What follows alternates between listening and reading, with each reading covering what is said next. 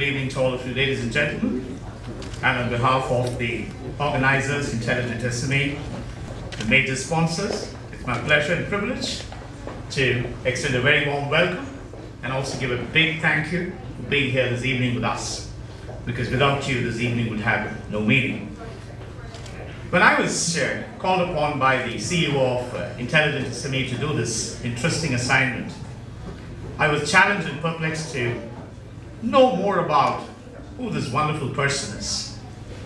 And as I started peeling layers and layers of his life's history, I realized I don't have one particular answer to the question, who is this person?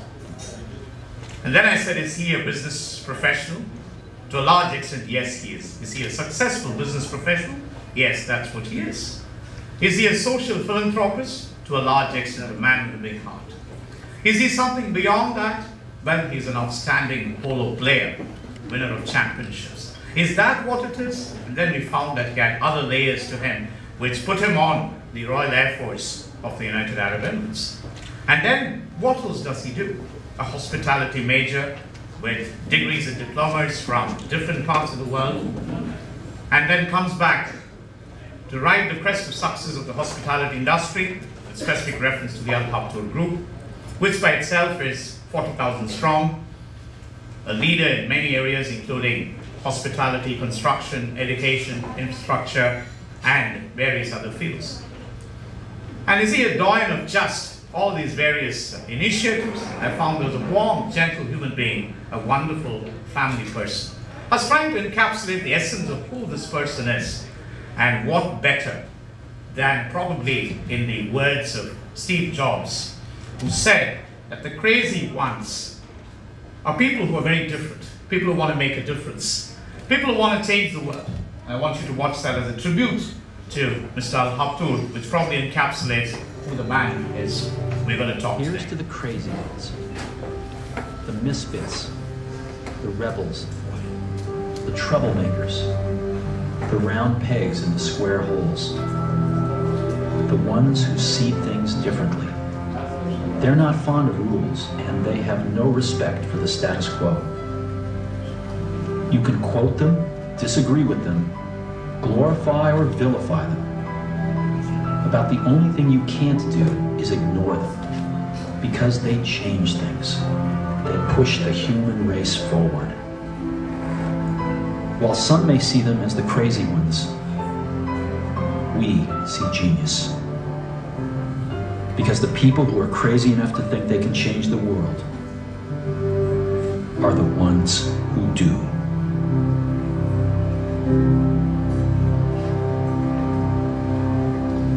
And I think that video captures the essence of the guest of honor this evening, Mr. Mohammed Al Habtoor, the Vice Chairman and the CEO of the Al man who comes from a very illustrious family, but took to his passion, took to making a difference, took to being a little crazy in a wonderful sort of way, and thereby creating a unique mark for himself. And for the next 45 minutes, we're going to have a personal insight into this great human being. More than a great business person, I found a wonderful, warm human being. Somebody extraordinary. So without much ado, may I request the guest of honor this evening, Mr. Mohammed Khalaf Al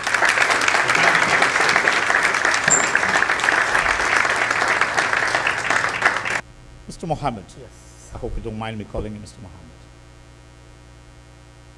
Every wonderful story has a beautiful beginning. Tell us yours. Where did it all start? This person who has crossed all these boundaries, created this remarkable success story. Where did it start, sir? Bismillah ar-Rahman ar-Rahim. Assalamu alaikum. Good evening, everyone. I'd like to thank the SPI group for inviting me this evening. Um, let me let me start like uh, from uh, my childhood. Okay, so I wasn't really very disciplined person when I was a kid. I was giving hard time to my parents among my brothers and sister. Not really being very bad, but being naughty. Let's say it. You know, you can call the kids naughty. So I was a little bit naughty. So my parents they kept me closer to them you know, to make sure that I stop being a naughty boy.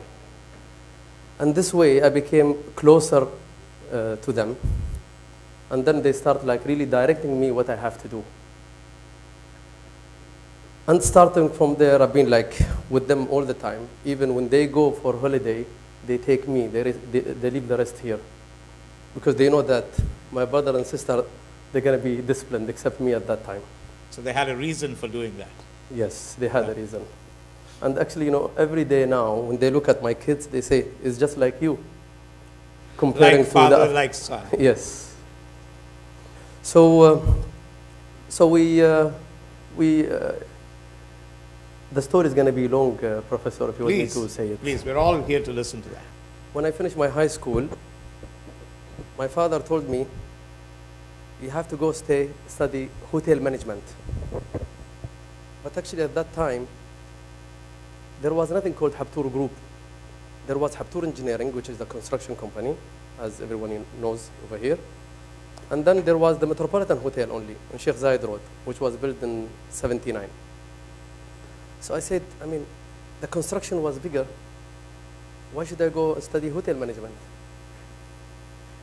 Then I said, okay, maybe, you know, he has a vision on something. So I went and I studied uh, hotel management. So when I went to study hotel management, I did only six months. It was in England. So he came, you know, he visited England uh, almost like six, seven times a year. So on one of his visits, he called me for lunch. He told me, so how was school? I said to him, I don't think I'm going to do good in hotel management. And actually, I was the first uh, Emirati to study hotel management at that time. Anyway, he told me, so what do you want to do? I told him, you know what? I want to be pilot in the Air Force. what is the future there? I said to him, this is what I want. You know, that's my passion. He told me, okay, pack and take the flight tonight. I didn't even report to the school and tell them that I'm dropping the course or something. So I packed and I flew in the same time. My mother, I arrived here, my mother was surprised, like, I mean, what are you doing? I said, uh, that's it. Tomorrow morning I'm going to register in the army. Anyway, she told me, do what you want. So I went and uh, registered, and ha- you have to sign 15 years. And you cannot even exit. It's very difficult.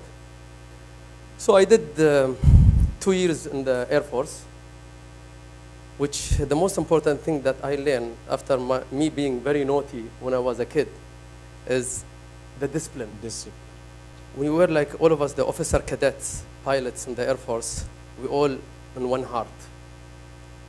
And this is actually what we implement usually with uh, my team in, uh, in the office. And also like with my family, with my brother, my sister, with my father, we try to have like all a teamwork for us to, to go to the uh, second step. It's not one person uh, decision.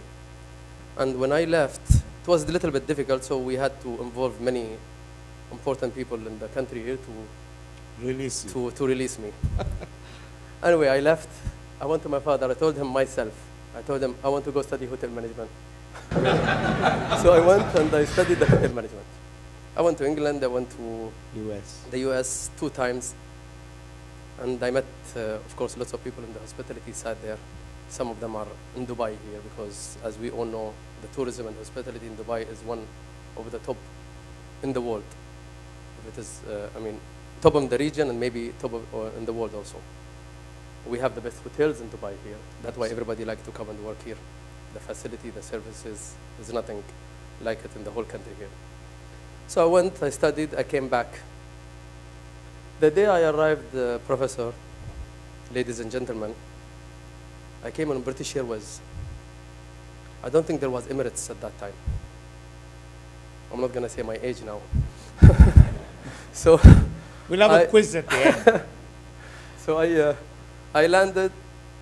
My driver was there, the house driver. So he came, dropped me. I found a note on uh, the door of my room. Say, meet me 8 a.m. in the office from my father. It was like by the time I landed, arrived to the, to the, to the house, it was like already 2 a.m. By the time I slept 3, I mean, I don't have a switch, you know, take time a little bit to sleep, you know, shower, change. and jet lag. And jet lag and everything. So anyway, I slept, woke up. I was maybe half an hour late. There was no problem. I arrived. We hugged, kissed, you know. Didn't see him for a long time. And then he said uh, he rang the secretary and told her, call me Rahim. At that time, one of our uh, executive uh, managers in the in the company, on the hospitality side. So he came. So I met Rahim. Hi, how are you? Gave me a piece of paper. I looked at the paper. It says one month cleaner in the housekeeping. Wow. Okay. Next month porter carrying luggage. Second month in the kitchen, and so on. I looked at him. I told him, "Are you serious?" Of course, what I was expecting that I will arrive, find like one million dollar office, beautiful secretary outside. You know, I sit there, orders, nothing of that what happened. I told him, I don't think I can do this. He pulled the paper, he told me, go find a job. And of course, down in the paper it says 5,000 dirham salary. Wow. So I was like, okay, so I just left the office. I went back home to complain to my mother at Mom. that time. You know, they're always like, uh, everybody goes to the mother Goes to the mother. to put some, uh, how do you call it, wasta. but, uh, Local Wasta. but she couldn't. Because my father, like, uh, when you try to debate with him, he became like more arrogant in that thing. So my mother told me, you do it, and, and uh, I will help you when you need anything. I said, okay. So I went to him, I told him, okay, I'm ready to start tomorrow. He said to me, one condition. I said to him, what? Again, What I mean, more? you have already like a big list of Conditions. swiping the floor and everything. That's enough. Cutting onions. What more now? He told me, you have to wear a suit. You don't go with Kandora. Hotel manager cannot be with Kandora. You have to wear a suit. I said to him, I don't have suits. So he told me, okay, this is money, go buy suits now. So I went and bought suits. And of course, me being from Jumeirah, you know, you know how the local uh, boys, they came, they told me, oh, you're wearing suit. They started laughing at me. like they took it as a joke. They come to the restaurant and they say to the waiter, call us that guy so I can take their order. you know, it wasn't uh, very easy. It took, took, uh, it took really one year and a half being behind the reception. I have people who are not happy. They come and they just swear at you, bad words. You know, I swallow it. I go in the back, start like banging the table, you know, breaking a jar, you know, just to relieve uh, the pressure. But, uh, but very important, if you want to be a manager of a restaurant, you have to start a busboy. Absolutely. You cannot come say, I I am Muhammad Al Habtoor, I want to be a manager of this company. What do you know about the company? What do you know if the waiter is serving the plates right? Or if the food presentation is correct? And I wasn't happy at the beginning, but at the end, of course, I thank him until today for giving me the opportunity to do this from the beginning. Because if I came and sat in a big office, like $1 million office, I will be until today not knowing exactly what's happening under me. Beautiful. I think you started off wonderful. Wonderful. And uh, I'm sure that particular interaction with your father must have had some tremendous impact on you. Your father seems to have been a figure that guided you, that virtually molded you to where you were. Did you find it, you know, overwhelming at some times? Why isn't he allowing me to do what I am supposed to do? Or did you feel that he's doing all this for my good? Any lessons, insights, father-child relationships? You know, I mean, my father was an employee in the 60s. If anybody read, read the autobiography of my father, will understand his, uh, his success and uh, how he started. So by him being employee and started his business in the 70s, and me come joining him in the 89 at that time, it's an old school thinking. But if you see that the old school thinking, they are the most successful so far. Absolutely. And we, you know, we think that we're gonna finish uh, university and college and we're gonna come and change the world. No, we don't change the world. We can add